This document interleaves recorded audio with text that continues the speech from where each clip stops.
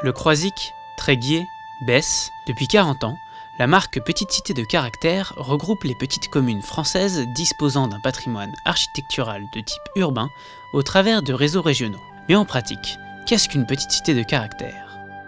Une petite cité de caractère, c'est une commune qui a été ville. Alors parfois qu'il est encore, parfois qu'il ne l'est plus, mais qui a hérité du temps où elle était citée un patrimoine de type urbain. Ça peut être des portes d'entrée de ville, des fortifications, des maisons, euh, des maisons de justice, des halles, etc., etc. Donc on est vraiment sur la cité, sur un héritage et un patrimoine de type urbain.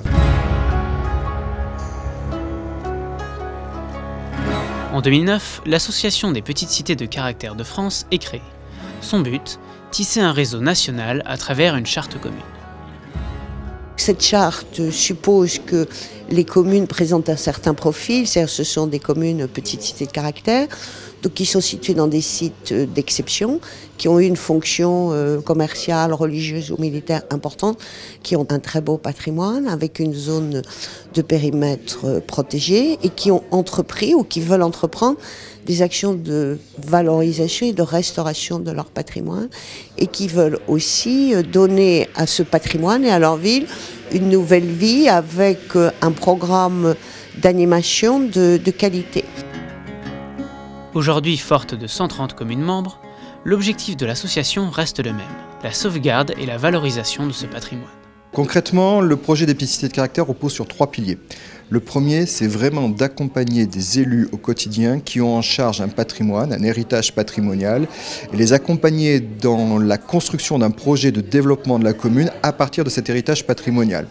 Le second pilier, c'est qu'on a souvent des communes qui sont très isolées dans leur communauté de communes, dans leur pays ou même parfois dans leur département avec leur patrimoine.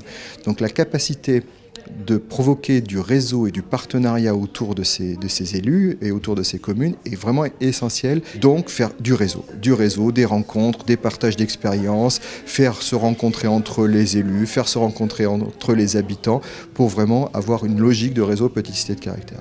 Et le troisième pilier, c'est la marque touristique, c'est-à-dire construire un modèle alternatif de tourisme, un tourisme qui s'appuie sur l'authenticité, sur la découverte d'un patrimoine dans ces petites cités, que la marque soit un gage qu'un visiteur, quand il vient dans une petite cité de caractère, trouve un patrimoine remarquable, valorisé, animé, et qu'à chaque fois, ce soit une expérience de découverte de communes qui sont relativement peu connues et rarement sous les feux des, des projecteurs.